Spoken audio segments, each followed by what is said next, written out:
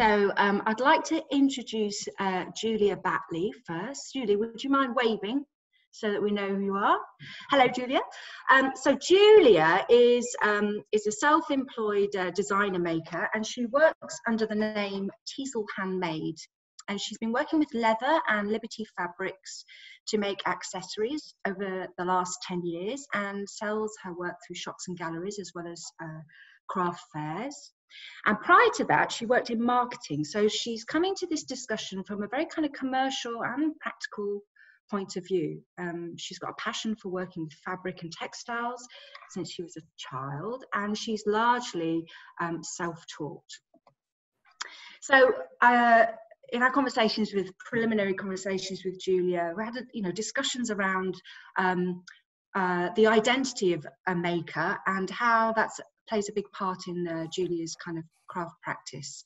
She also lives uh, in Huddersfield and appreciates the textile heritage of the area, including the, uh, the growing resurgence of small companies and individual makers who are particularly also, you know, rendered visible through the, the Woven Festival, um, who are part of the kind of the textiles heritage in the region.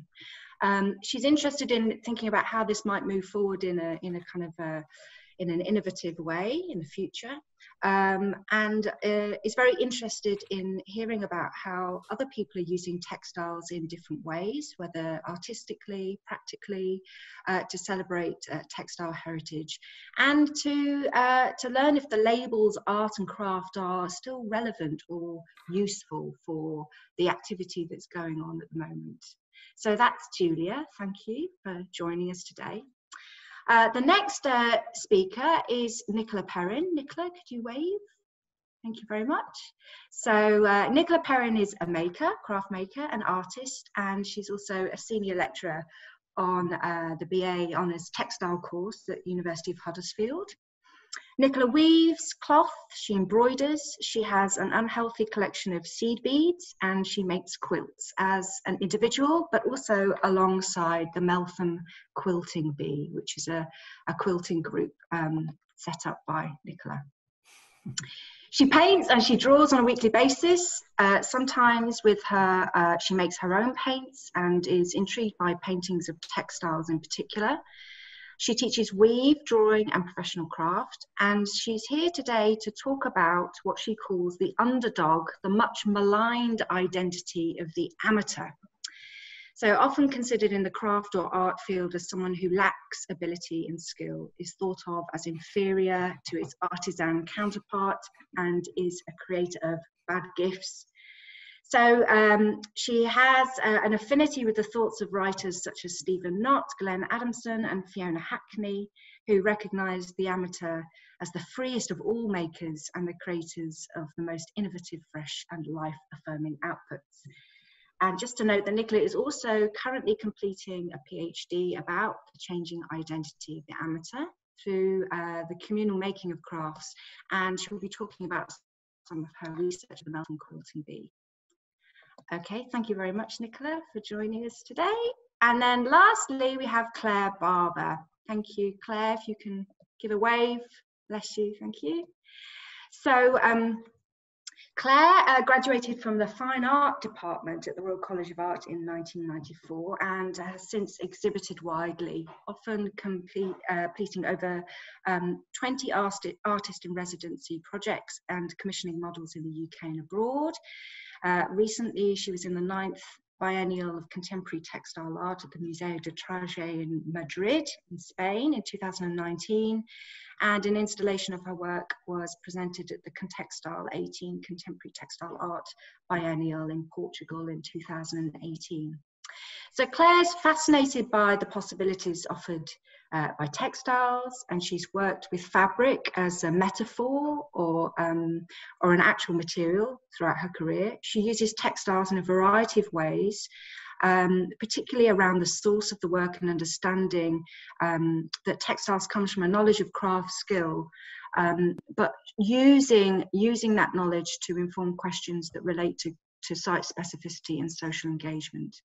So Claire creates large scale and small scale works, but is interested in the dialogue between space and communities uh, that engage on work. and um, she's also very interested in what the communal aspects of making processes are and how they manifest in and through the work itself. So she'll be talking about some of her work, including blue plaques of intangible experience, spinning wheels, the train track, and the basket in the context of her role as a textile artist. So there we go. We've got three very, um, very diverse but potentially overlapping kind of contexts for our discussion today. So um, Julia, Tom, if you wouldn't mind popping up the images so that uh, maybe Julie can talk us through some of some of her work, that would be really, really interesting. There we go. Here are. Over to you, Julia. Thank you. Um, well, it looks like we're going to have a really interesting discussion. I'm looking forward to it. Um, I've been a maker, as, as Rowan said, for over 10 years, um, and I'm, I'm, largely self-taught. Um, I think the key themes in my work are colour um, and texture, and I work with leather and Liberty fabrics, and I really enjoy the celebrating the, the sort of British heritage um, of, of textiles through the Liberty prints. Plus, they're absolutely gorgeous fabrics, and the colours and the combinations are amazing to work with. Um, and they kind of tell you what they want to go with. You know, it's like going into a sweetie shop, going into my workshop and seeing all the Liberty fabrics there. Um, so working with that and then and putting that together with leather it gives you this this lovely textural colorful you know experience. And all my things are all the things that i make are very practical. They're designed to be used every day. Um, so i like to think of it as giving sort of everyday pleasure. So you might open up the bag that you see in the bottom but it's lined with a, a gorgeous liberty print. Um, but you get that lovely feeling of soft leather um, the smell of the leather. It, it's quite um, you know it's quite an experience for all the senses um, which is one of the reasons I really love um, selling directly through through events and fairs because you kind of have to see and feel and touch to, to get an idea of it. Um, I don't know if you want to move on to the next slide, um, Tom. Again, just to show you really colour um, sort of shouts through everything that I do. Um, so just some more examples, glasses, cases, little handbags. yeah, here we go, a bit more wintry range. We've got the um, the wool scarves, and I've really that's a more recent addition, and I've really enjoyed doing that because using the woven wool fabrics sort of ties it back in again to the the textile heritage of this area. Um, so it's really lovely to, to, source fabrics that are woven locally. Um, you know, I, bought fabric from the Colne Valley Museum, um, which has been woven just two minutes from my door, um, and, and that's fantastic to work with. Um, so that gives an idea. I think the other thing to, to say is that Teasel is, uh, as a name, is one that I picked um, to tie into the heritage of, of this area, um, because Teasels used to be used to, to card the wool fabrics, uh, and there were Teasel auctions locally. So I think it's quite um, quite a local connection that ties into textiles without being too textile so uh, that's really where I come from. Um, I'll pass you back to, to Tom. There you go, Nicola, over to you. Okay, so um, hello everybody. um, so do you want to move on to the next slide, Tom? So this is um, some images from some work I um, do with the um, wonderful Meltham Quilting Bee. Um, so we um, work together, as you can see there, um, on one quilt at a time rather than working on individual quilts. and we've got all age groups involved. Um, and it's just wonderful being able to work um, on one thing together rather than um, a lot of the time I spend making work just on my own as an individual. So it's a great experience working with other people. So, uh, so that's Meltham Quilting Bee. Next slide. So yes, so these are two quilts made by the Meltham Quilting Bee. The um, the one on the left, the turquoise and uh, grey one, was one of the first ones that we made when we were first getting together. Um, and then the one on the right is the third one um, that we did. Um, we're sm- a slightly smaller group now.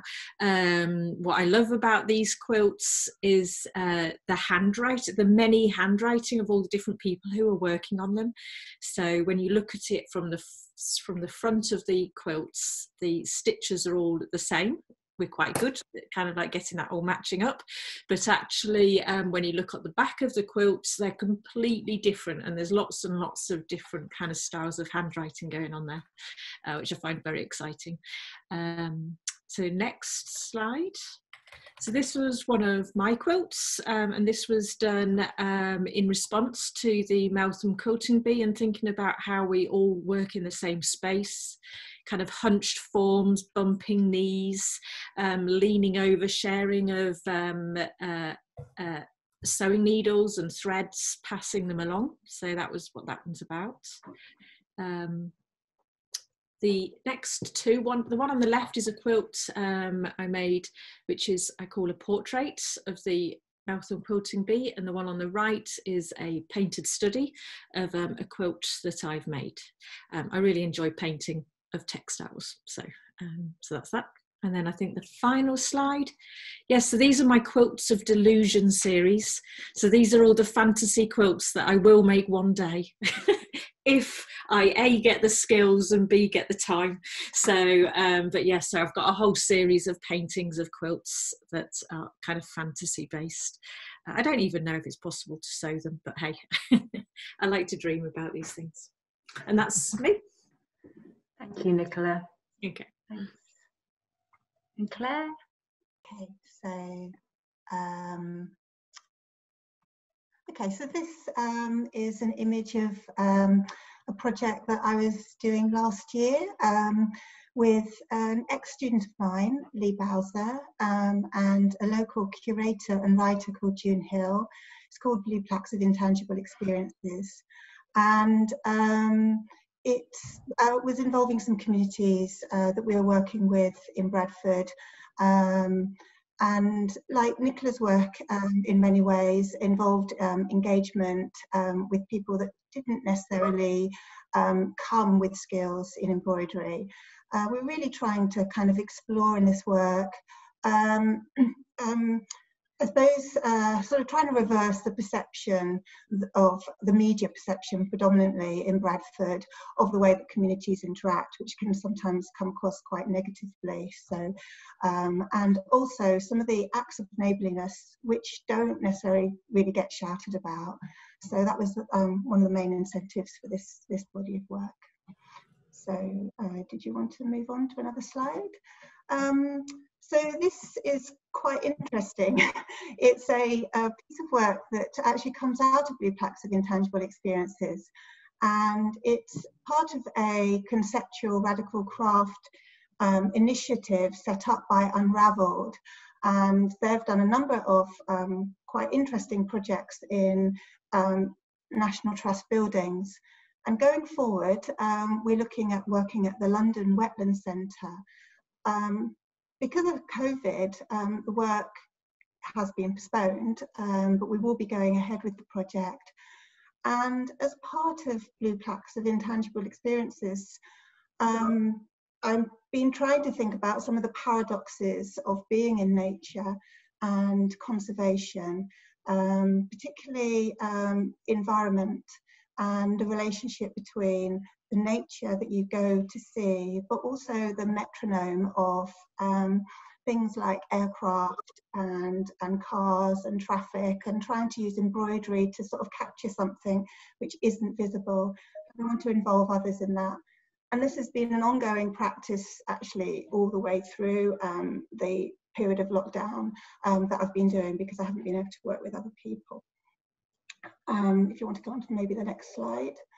Um, so uh, I work with really diverse uh, materials. I'm interested in um, craft as a subject as much as a process. So this body of work, I was really interested in um, glove making, the heritage of glove making in Yeovil, um, which had been applied to firefighters' gloves um, and some of those traditional skills and quite an unrecognized skill. I don't think a lot of people necessarily realize how much is made in Britain by hand using very, very traditional methods. And so wanted to really open up an installation or inflatable that would involve people in negotiating this heritage in kind of new ways um, that mm, they may sort of relate to and also push their creativity in the way that they might engage with a cutting form which is a basic shape used in glove making. So moving forward, a couple of images um, on the um, left is some work that I was doing last year um, as part of a residency based in Bolton, um, looking at um, creating a contemporary a handkerchief using a lot of digital print and drawing as a commemorative sort of handkerchief um, for the Peterloo uh, massacre. And then the piece of work on the right is a body of work. Actually, uh, Rowan has been involved in this um, and Nicola in different kind of ways, which is um, trying to think about how I might engage with craft practice both within my own individual career as an artist, but also tucking it away into university curriculums, maybe talking about things in conferences. So it's a body of work about reclaiming sleeping bags from music festivals and offering them to people who may need them. But it has quite a sort of multi-dimensional sort of aspect to it.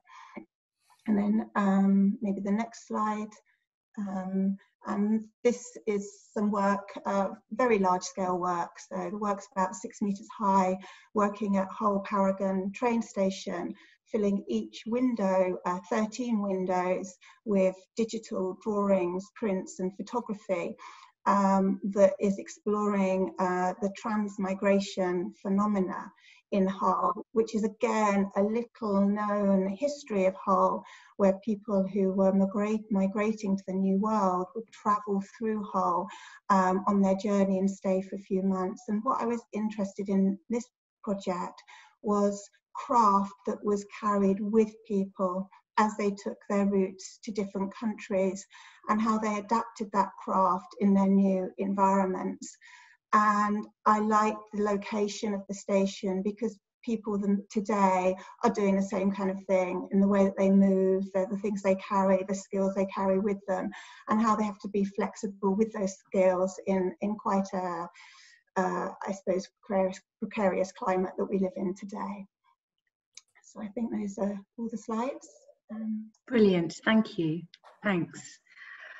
Fabulous. Okay, so we've got a sense of the uh, three different, extremely different but potentially overlapping bodies of work. So I can certainly see uh, see things to do with. Um, I mean, it was really nice what you were saying, Claire, about the idea of like what happens when you start to think about craft as a subject matter that needs investigation through an art mm. practice or through a set of processes. Really interesting also the kind of the connections between the materials, the, the intimacy or the intimate relationships between materials and acts of making or modes of making, uh, but also the communal aspect to, to craft um, and to textiles.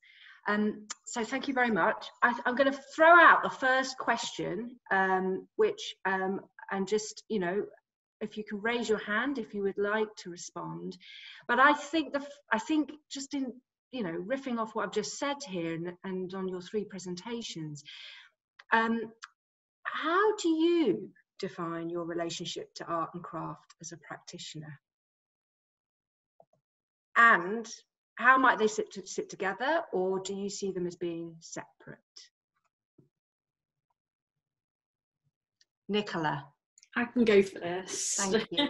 I'll dive in. Okay, so uh, so I'm a bit cheeky. I jump in and out of them all. So I don't. I kind of like jump in and out of art, craft, design. I do see them as um, different to each other, um, and I'm quite um, comfortable with that. But I definitely don't kind of like recognize hierarchies in those. I see them as quite flattened. I'm quite interested in the idea of um, of um, rhizomatic kind of like thinking where everything's kind of on a level playing field rather than having kind of hierarchies like that but i recognize for, for me and I, and I think that it's different to each um, individual but for me i recognize when i'm working um, as an artist it's the kind of like the uh, the concept um, the message the narrative that's the primary kind of like driver how that comes about and what form it comes about is kind of relative to what the message is i'm trying to however when i'm thinking about craft I think it's the other way round. So for me, it's about um, uh, a process that you really love, whether that's canoe building, whether it's keeping an allotment, whether it's knitting, whatever it is. I think that's the kind of like the central kind of force for craft. And that doesn't mean to say it can't have a message or a narrative in it, um, but if it does, um, I think it comes out of the making process and the concept of craft rather than the other way around. Mm. So I think that's my thought. But yeah, I jump between all of those different kind of uh, fields quite happily to put to suit my needs. so yeah. Sorry, Brian. Um, I think um, for me that's it is quite a, a difficult question, and often I feel a million miles away I feel the disciplines are very, very distant, um, very far apart. And then at other times, it depends on what kind of uh, season you might ask me the question, because at other times they feel very, very close and almost in, indistinguishable.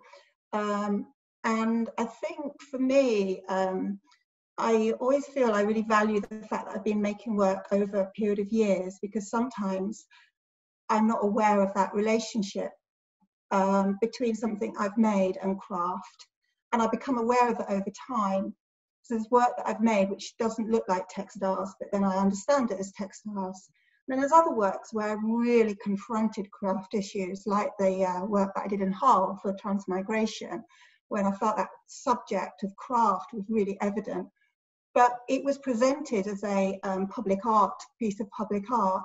So I think it's a very private experience of craft, which my audience wouldn't necessarily tap into in the same way that I would tap into. So, yeah, it, it's, I've also really valued working with curators and the insightful way that a work might be positioned or contextualized. Uh, so it might emphasize links which I wasn't really aware of. So a couple of years ago, I worked with a, a work around Renaissance mechanics and I am interested in engineering, mechanical engineering, um, alongside other things, but it really emphasized that in terms of how I was positioned alongside printmakers or painters or sculptors who are interested in that subject as well. Um, but I recognized I saw that through the lens of craft practice in a different way than maybe the other people that I was exhibiting with. So it's it, it's really yeah it's a really interesting question and I, I do feel like in a way like Nicola that they are distinct and they should be distinct. But there's a sort of paradox when sometimes you can't pull them apart as well, you know. So it's not something you can sort of say is black and white, I think, in, for me personally, in a relationship with green art and mm. craft. Although at different times I will feel incredibly determined about what I feel, but I will change and I'll evolve. and then I will contradict myself in terms of my th- things. So it's sort of an evolving relationship, I think, for me. And I, I guess that also kind of um, maybe like leads into thinking about um, when we talk about craft identity as distinct from an artistic identity. There are many different.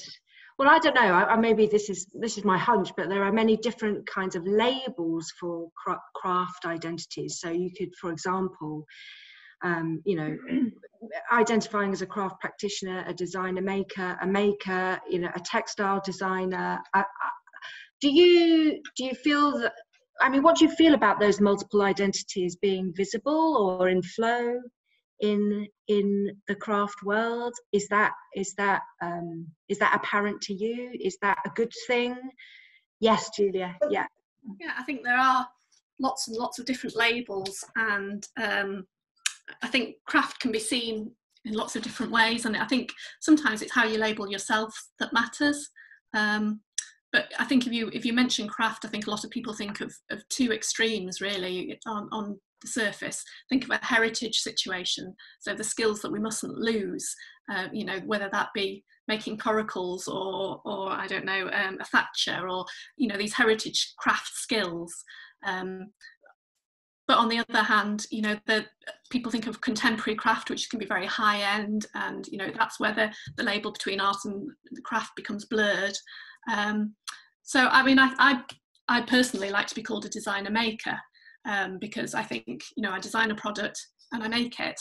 Um, so whether you call me a crafter, I don't know. I think crafter sometimes has negative con- connotations. And it's something that Nicola might come in with her view of amateur. You know, this this idea of amateur craft. Um, I'd be interested to see what what Nicola has to say about that. But I think the the perception depends on the audience, and, and, and everybody comes with their own preconceptions about what about what craft is. Um, so yeah, I don't know. Throw it out to somebody else. yes. Yep. Maybe you both keep your moots off, and we you can Sorry, just sorry. yeah, it's fine. Um, yeah, I, I, I actually find them very difficult terms.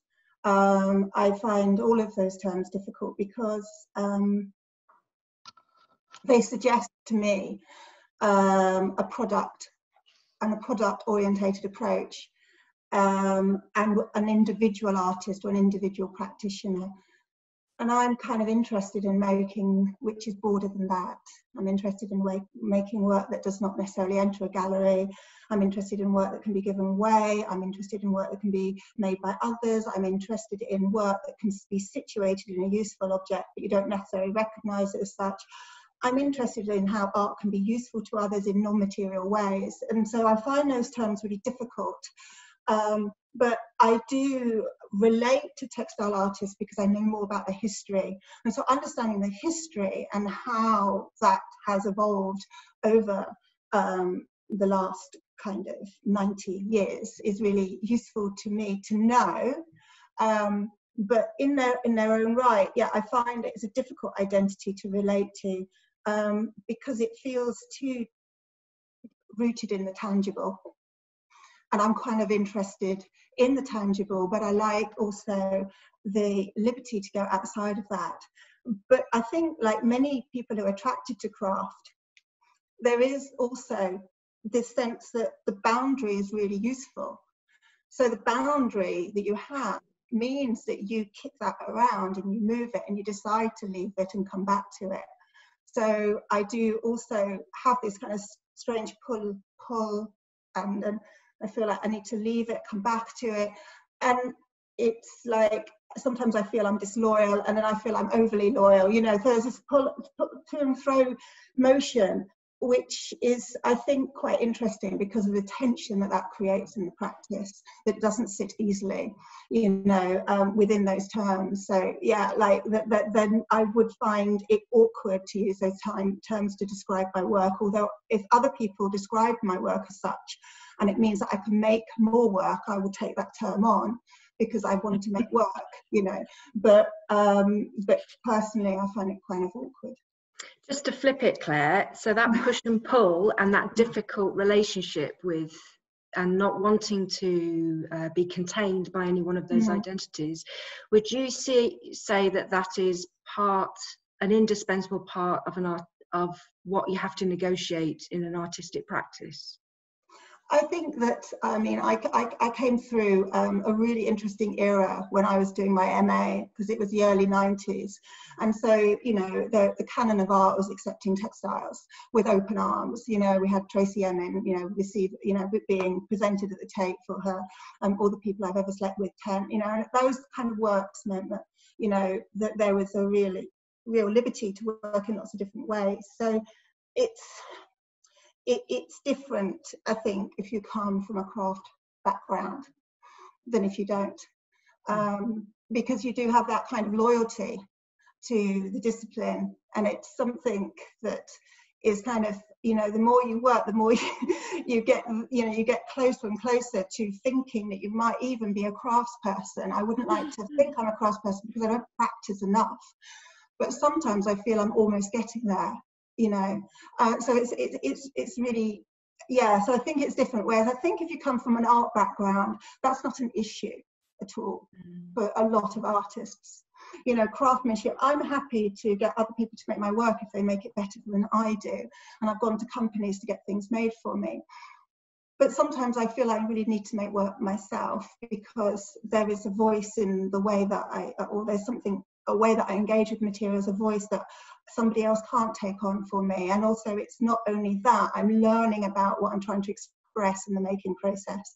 So there, there is this thing with craft which I think is distinctive if you if you have trained in it and you realize your limitations and how you're failing all the time because you're not reaching craft status but at the same time you're trying to express ideas there's kind of tension i'm not sure that fine artists trained as fine artists from how necessarily carry that baggage necessarily in the same way that you do if you're trained in craft mm. Thank you. Thanks, Claire. I mean, so then just Nicola, I wonder what your whether you can um, talk to this question question about amateur craft identity in this context. Yeah. So. Well, personally, I don't know. I don't think I've thought about it as much as you have, Claire. I'm not that bothered, but maybe I don't know. I think, um, and I've had this conversation with people I work uh, with on quilts but I wonder if it's kind of my privilege because I I have been formally trained in textiles and design and fine arts and all of these things and so i'm really lucky so i'm not worried about being called an amateur it's like it's like yeah that's fabulous. I love that idea of kind of like um especially when we think of amateur work as being kind of like free from kind of like the constraints of everything. So so i'm really happy with that but i know that it's not necessarily it's always kind of like associated with somebody who doesn't make something very well. So um so i i think that people maybe who haven't been formally trained don't like that kind of term and so uh, so i recognize that these terms kind of create turmoil i suppose for people but personally i'm kind of quite open to these things. I really like the term designer maker. And with you, Julia, there, I love the fact that you design something and you make something and it's just straight to the point. And I guess I think that's why I like the term kind of like um, uh, amateur really in that it just kind of like I, I define it as somebody who's doing something um, who is not wanted to make money from it so it doesn't mean that you're not good at making something. And in fact, there's um, um, a government report, a massive, uh, the community, I can't remember what it was called, Rowan, the crafting, no, oh, big report that was written a few years ago, government report, um, and it talks actually in there about how quilters, amateur quilters, are, def- are the absolute kind of like um, the highest in status in terms of quality of making and ideas and forward thinking. And I think that applies to hand knitters, crocheters, and a whole range of different people that actually people who are not tied to kind of like making money from something are able to kind of like make something which is much more open to possibilities. Yes, Julia. Interesting as well about saying that uh, it's about it, it, it's about it's, it's not about how you label yourself it's about how other people label you and how that opens up opportunities and so you know I, I come from an amateur background i've self-taught you know i've been saying for a lot of years but i am self-taught um, but the, the labels craft and art um, I, as I said at the beginning, I come from a commercial aspect. You know, I, I, am a designer maker to make a living. That's that's where I'm coming from. Um, so it doesn't really matter to me whether you call me an artist or a crafter or a maker. I, I like designer maker, but what it does matter is it, it, it can limit access to opportunities. You yeah. know, in terms of fairs and, and markets and opportunities. You know, some some people will will consider craft to be will include the kind of work that I do, and that's fine. Um, you know, I've been to art markets where I, I, can be included in one thing and I can be rejected from another because I'm not art, which I accept. But it, it does have a practical implication on a day-to-day basis, and so that's really the only reason I'm I'm bothered about that label from a from a real life, you know, trying to make a living from what I do kind of point of view. Um, yeah. it's it's not a conceptual thing to me. It's a it's a practical reality. Absolutely. Which maybe leads on to my next question, which is probably a, bit of a tricky one. But um, is, I think there might be something going on here around value, okay, and the values that are uh, that we attach to to art craft or the art craft relation. And I wondered if you had any thoughts about um, maybe with reference to your to your own experience, but what what are the values that we uh, we are that are maybe kind of attached to textile art and craft making that are kind of visible and obvious? Um, you know so that might have something to you know the commercial value that we might attach to you know uh, pro- uh, things coming out of you know designer maker uh, identities. But like if we're thinking about all of the different kinds of values that we might need to uh, give to uh, or recognize within textile art and craft which ones are important to you? So i'm thinking about especially with the communal aspect, the social values, aesthetic values, you know, community values, the values of making as, as much as commercial. So if we're saying that there are multiple values at work in this kind of in this world, like which ones do you give priority to or consider to be important for your for your work and um, and the identity of you know art craft? I just think um, it, it's interesting what Julie was Julia was saying actually um, before about um, opportunities and making a living, and there is monetary value, and I, um, as well, for many years needed to make a living out of being an artist, and I'm still a lot of my works are too expensive to make unless I get funding. Um, so I think that um, the work, the occasions when I have worked on projects which are solely textile art, the first time I did it, I was shocked at how little I was paid in comparison to how much I was paid on fine art projects. And so it, I took the project on because it had such, it had so, it was so flamboyant and in many ways had a lot of incredible elements to it but I was really irritated by the fact that I wasn't paid the proper wage for that project. And I also think that even though I'm an academic now, it's not good enough to not have monetary value for mm. textile crafts or art because if I don't get funding for people that I'm working with on a proper wage, you know, it's, it's not fair. And if I take positions you know it, it's not it's just not good for for everybody else in a sense so you know i i so, so i think that um this is quite problematic in a way in terms of how the discipline can grow in a genuine way. Or you take on something and you may find that you're actually exhibiting with a range of academics you know which can't be a healthy diverse community because you can't make a living out of doing textile art. But you can as an artist you know from my experience um, because there's just so many more avenues that you can get funding you know um, and so much uh, uh, the the, the um, infrastructure is so much more solid you know in terms of the the, the whole management of of art practice. Um, so so yeah so i think i think that's um, you know, monetary value. But I, I, got a sense in you asking the question, you weren't really looking at monetary values, that possibly more about the communal values that we've been discussing or social values, which, um, you know, is a completely different kettle of fish, which actually textiles can create such positive experiences, you know, for people. Um, and there can be so much kindness that you can communicate through textiles and you can you know that sort of empathetic kind of quality that you can work with in textiles is really really fascinating.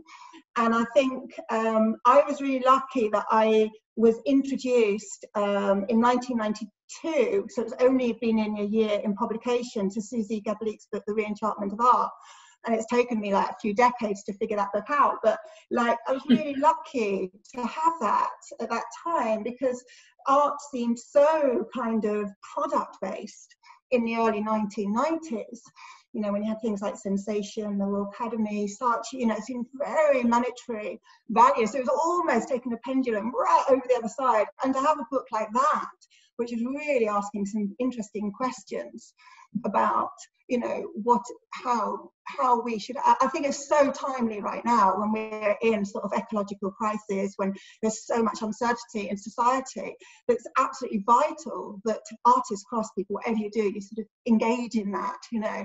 And so textiles can pull people in because they have this kind of beautifulness about them that is aesthetic it's visual uh, has this kind of dimension to it, but it's also sort of, um, it, it's not intimidating. So you can kind of pull people in and then you can do sort of interesting things once you have your audience, you know. So I, I think that they're not, I, I, I, would like to say that they're important not just for crafts and art, but they should be important for all visual or performing arts, you know um, these these communal values right now, you know, and, and the way that we might find ways to live in meaningful, productive, useful ways, you know, and how we can make a contribution, you know, to society uh, to help help help help out really, you know, uh, not that we're I don't want to sound like patronising, but I just feel that you know we need to sort of come together and really sort of you know work together to improve society.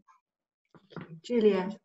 Yeah, I think that creativity of any kind, whether it's craft or, or art or whatever, has huge value to individuals and communities.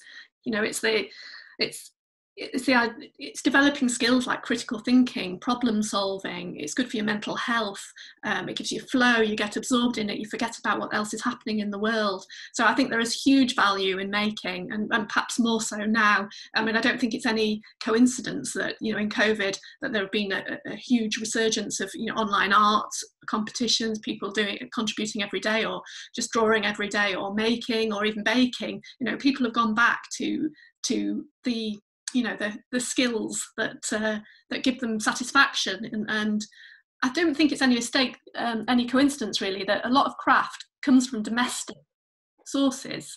Um, and one of the things when I was thinking about this was you know I was thinking about textiles in the past and and how how our perception of things changes over time. And I was thinking about um, patchwork you know it's not my field really but um, i'm very aware of the fabrics that came out of america in the 1930s the feed sack fabrics. You know it was the great depression. There was a real you know people were poverty stricken. There was no money. And so the feed sack manufacturers put their feed for the farms in, in floral sacks. And the sacks were used by the um, you know, by the farm farmers' wives to make clothes for the family, and then the scraps of those were used for quilting, and the scraps of those were used for rag rugging. Every little thing was used, and that was seen as a. It was very much a practical use. It wasn't considered art; it was a necessity. But when you look back at it through the prism of time, and you people consider these quilts to be artwork and to represent the social you know the social times and the use of color and you know individual makers and, and obviously quilting's developed a long way since and i'm sure nicola can talk a lot more about that because it's really not my it's not my field but i just think that's interesting that I think sometimes craft has been underrated because it's it started in a domestic setting mm-hmm. and and was seen as a women's craft often. I think there is some element of you know of of that historical hangover, and maybe maybe it's changing. I'm sure it is, and you know things have moved on an awful long way. But it was just just something I thought was was interesting, really. Um, but you know maybe sewing those farmers' wives would have been an escape, wouldn't it? Doing something creative, um, uh, and and I don't know. Look, and it's also a, a way of expressing your love, I think. I always think of sewing and making things for other people as being an expression of affection, that you are willing to put your time and effort and skills into something to pass on to someone else. You know, I used to make pajamas for my kids when they were little, and I used to say, they're not just pajamas, I'm wrapping you up in love, you know, because they were handmade pajamas, and I made them for years until they said, please stop. um, I think, you know, there's, there's a lot of emotion in textiles. Uh, maybe again because of the domestic setting that things started. Um, but anyway, I just thought. That, does that feed into what your Nicola? Yeah, yeah. I mean, it reflects it perfectly. Really. I mean, I'm I'm uh, kind of particularly thinking. So while I totally and utterly and in with my professional hat on making money out of it is obviously um, absolutely uh, paramount. But um, uh, I guess I'm here today to talk about kind of like the other side of it, which is where actually where we're not making money from it, and it's I think it's a rare kind of like it, it's a rare thing to be able to do something autonomously these days. So we've always got kind of like um, a manager, um, kind of like expecting things of us, or family members. Every there's always things that are expected of us, and often I find that um, engaging in craft-based um, activities allow affords us five minutes a week or an hour a month or whatever to be able to actually just do something that's just for the love of it and uh, and I think that's really important um, uh, to kind of uh, have that have that there um, without kind of like any worry about whether it's kind of like good enough and uh, even if your children decide they don't want the pajamas anymore that's not really the point. Um, it's the act of engaging with it and doing it that um, for me is um, really important. Um, but um, what else was I going to say? I think um, the communal kind of like aspect of making for me um, really um, allows me to um, to listen and to kind of like engage um, with others in a way again that in my working life I don't necessarily um, do so well. I don't know.